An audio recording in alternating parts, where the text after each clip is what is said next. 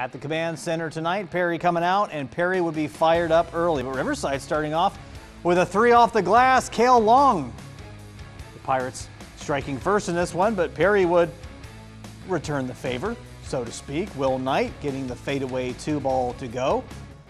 Little slow start for both teams in the early going, but the Perry defense would respond. Will Knight with the steal, and then Braden Knight finishes up with the left hand layup. Then Braden Yanks rebounds. He finds Terry Riley for a wide open three, and Perry starts to feel it. Riverside responding quickly, though. Ethan Jackson finding Caden Burke for the long three pointer. The Pirates only down one at the end of the first.